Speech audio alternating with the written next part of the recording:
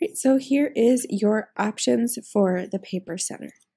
So the first choice is to make a paper puppet. So we have our folded paper puppets, which is the giraffe one, and we have our moving paper puppet, which is in this Harry Potter one. So the moving one is moving with these brass fasteners, and then our folded, it's where we're folding and using glue. So if you don't remember how to put these together, make sure you watch this blue click this little blue little words and it'll take you to a video. So here are some examples of both. Then you could also make your own paper puppet. So using just paper and colored pencils, um, here's an example that I did. If you need to know how to make your own, watch this video. So click these blue little words by the question mark and watch the video about how to make your own. So it'll be a quick one just explaining how I made this um, little cat. Here are some examples of making your own. You will use colored pencils or crayons to color this. So the supplies for the paper center is right below the paper table. So if we look in the cabinet, we have our brass fastener and hole punch. So this is for our movable paper puppets. We need those brass fasteners. Then we will also need the hole punch.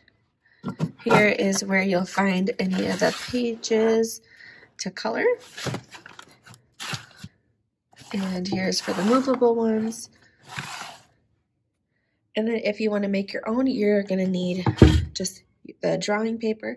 So the drawing paper is over on the shelf over here by the red table. And I would use the project paper if you're making your own paper puppet. Um, you'll also need scissors and a glue stick.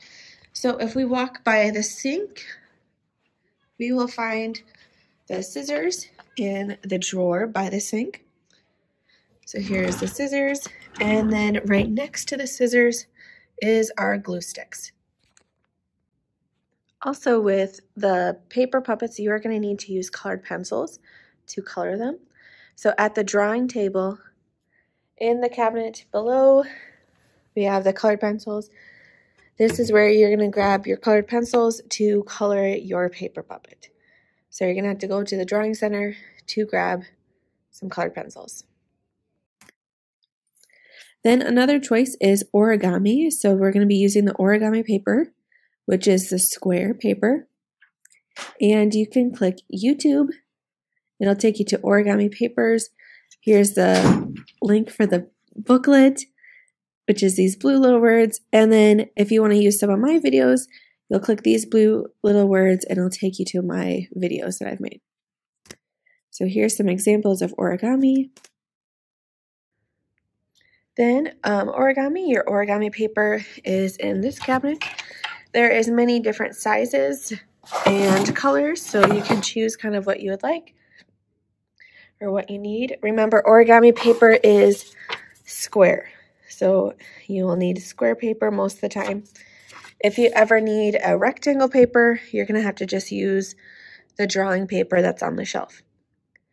Then any of your origami creations or paper puppets, if it's the end of art class, you are going to put those in your folder to keep them safe.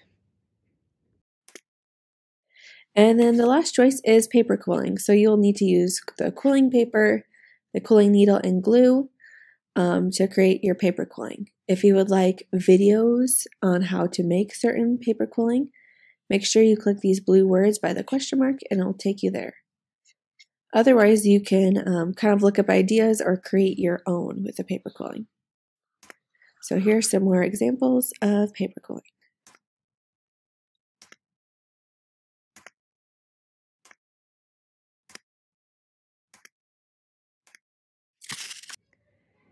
For paper quilling, all the supplies are in this cabinet.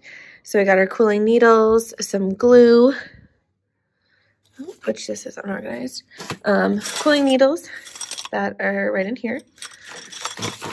Then there is some glue bottles right next to it. And then all of our quilling paper are in these little blue tubs. Um, when you are working, you can either like glue the little pieces to paper if you would like, or if you need a plate to keep all your little quilling pieces, we can get a plate from the Sculpture Center. So I will show you where that is. So over by the cabinets, by the blue table, is where the plates are. So here we have plastic plates. You can just grab one and then you can keep our little pieces on this plate and you can put it in the drawer. So your class drawer would be a great spot for that plate.